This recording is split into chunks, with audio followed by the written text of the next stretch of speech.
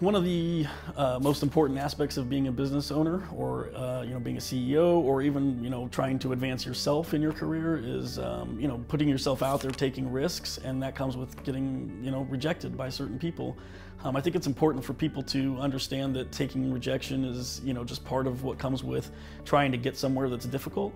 Um, you know so the first thing first is you know don't take anything that someone tells you constructively um, personal.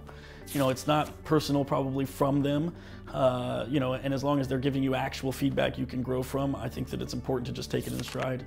Um, even if you have the perfect product, you can be pitching the wrong person at the wrong time or the right person at the wrong time.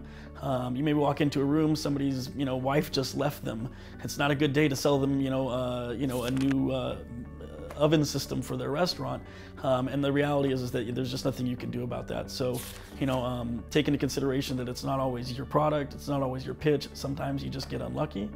Um, and at the end of the day, everyone deals with rejection. You can choose to kind of, you know, wallow in it, but I think that the best thing you can do is take that and use it as a way to, at the end of the day, be sort of a story of triumph. Like I got rejected 40 times, but then I closed, you know, Microsoft on a massive deal.